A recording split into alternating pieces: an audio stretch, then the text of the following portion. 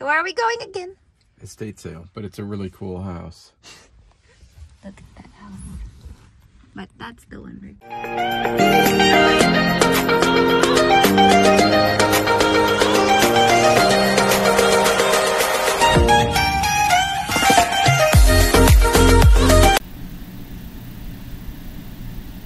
Hey team.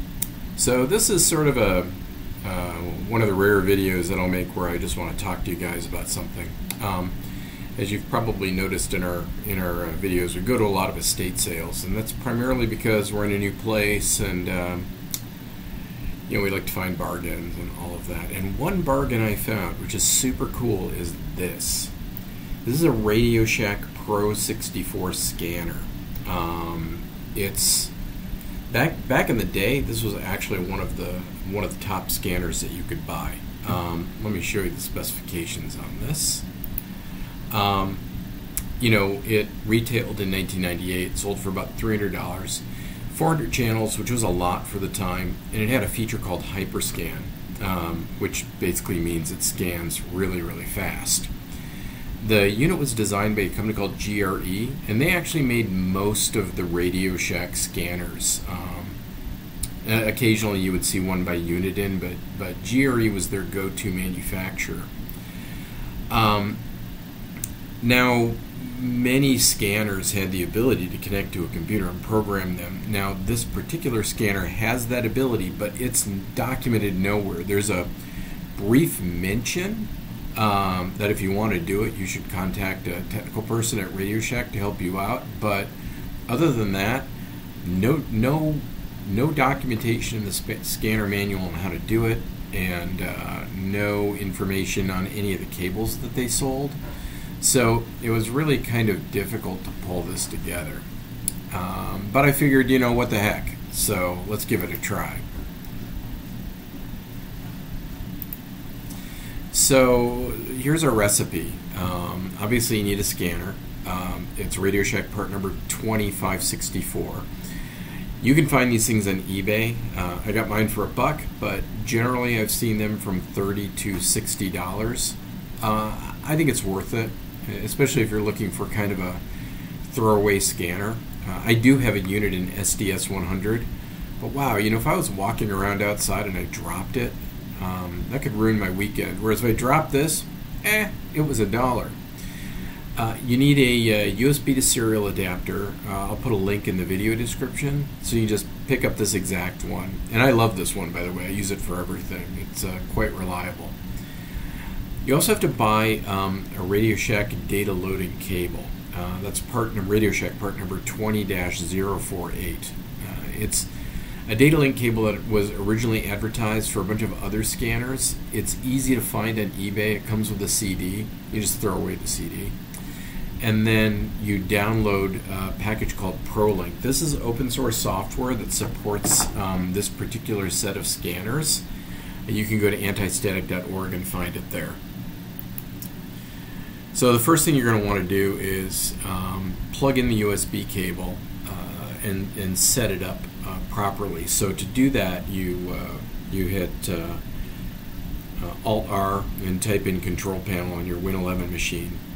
Uh, then go to Device Manager and find the COM port assigned to your new USB serial device. Uh, check the date uh, and the version of the driver. Uh, this is what I have, and I honestly don't remember if this is what Windows loaded or, or what might have been on the CD with the with the uh, that came with the uh, the cable. Either way, uh, probably a good idea to make sure that your that yours matches mine. You don't need a null modem or any fancy adapters just connect the Radio Shack cable to the USB serial adapter exactly as shown in the picture here, uh, and it will it will work. You want to make sure that the serial port settings are changed to something uh, more appropriate to a device that's uh, ancient and uh, not very high powered. You might be able to go faster than 1200 baud. Um, I did 1200, um, 8 even, one stop bit with no flow control and that seems to work. It's not fast, and maybe it could be faster. I'll probably experiment uh, a bit with it, but I, I, really just wanted it to be reliable, and so far this has worked every time. On the uh, On the actual ProLink software, uh, you'll install it, go to Options, and then Radio Link Modules, and you'll select the GRE Radio Interface Protocol Scanners by GRE. This is the one-way protocol. Um, so this is a this is a one-way deal. You can send data to the scanner, but you can't pull data from the scanner back to your computer. So just keep that in mind. If you make a cool spreadsheet with frequencies you like, save it because you won't be able to pull it back from the scanner. Uh, and then uh, make sure that the uh, that ProLink's configured for the right COM port. That'll be whatever COM port um, Windows assigned um, uh, to your serial cable. And now this is where the magic happens. You put the scanner in PC mode and you connect it to the cable. Um, so you turn on the scanner and just make sure everything's okay. Uh, step one, I just turn it on, make sure everything's good. I've got good batteries, it's scanning. Um, and again, keep in mind that whatever you've got in memory, this is going to overwrite. Then you turn off the scanner and you hold down the three and the enter keys while turning the unit on. This is really important. And when you do that, uh, as you see in step two, you'll see a little PC and then it'll be in program mode. So that's how you know you've got it in the right mode. And then you plug in the Radio Shack scanner interface cable. Now that plugs into the headphone jack. I had the volume turned up to a, a, about a quarter turn. I'm not sure if it matters, um, but a quarter turn seemed to work. Then you start ProLink, and uh, I usually test the connection by completely erasing the scanner memory. So when you bring up ProLink with nothing loaded into it, it will look like a spreadsheet with nothing in it, and that's fine. You start ProLink with no data loaded. You've got the scanner in PC mode and then uh, press Control F5 or simply go to Options and then Upload All to Scanner. When the upload happens, this is going to take about 30 seconds. The display will show PC Connect while the data is being uploaded, and it'll display Finish when the upload is complete. So then you just turn the unit off and then on, and then you should see that all of your, your channels are empty. So now it's time to build your frequency list in Microsoft Excel and then use ProLink to upload it to the uh, Pro64. So to do that, um, ProLink installs in Program Files, uh, Open Parent x86 close Parent ProLink. So you want to get into File Manager and go to uh, Program Files and ProLink and then find uh, find the install. Find where the ProLink setup, uh, put all the files there's a uh, there's a, a, an initial program there's an initial uh, CSV file called sample. So you want to take that and copy it. If you open it, it'll look just like this uh, um, this example on the left, where you've got 462.5625 GMRS channel one. So you'll see a table. Uh, all you have to do is replace that with the frequencies that you want to that you want to load. Uh, ProLink's a little buggy, so when you load the sample uh, table, actually when you load any table, it's going to complain with an error, but that's okay. The upload works just fine. So once you've built your table, uh, and like in my case, I just wanted to put all the uh, AAR railroad frequencies uh, into the scanner. Um, put the scanner in PC mode, load your CSV into ProLink, um, make sure everything's plugged in, and upload it to the scanner power cycle it, and you are good to go.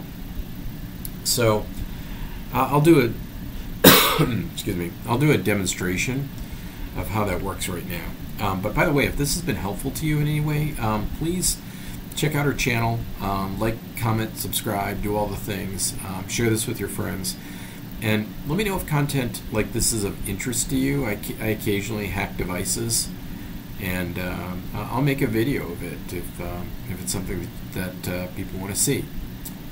So, so let's do that. So I got my scanner right here, and I've got my where's my cable,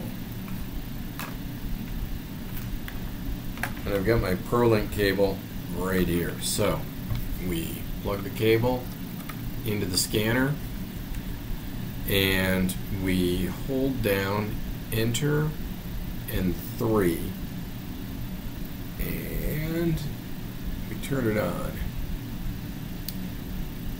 Okay, see how it's in PC mode? That's what you're looking for. Alright.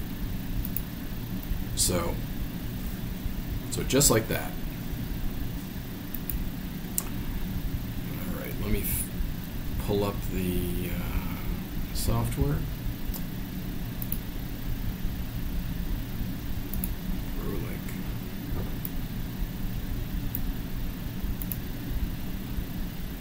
All right, so here you can see. Yeah. Jupiter, sorry. Team Tyde. I'm just curious. Yeah. All right. So here's here's ProLink. I'm sorry about the resolution. Um, I can't really make that bigger. But what you want to do is you want to uh, oh, this, you want to go into File and then uh, okay. So you'll get this er- error right. Says an invalid argument invalid argument was encountered. Okay. Whatever. So you do that, and then let's see if I can get this right. So uh, let me try to move this down, this over. Okay.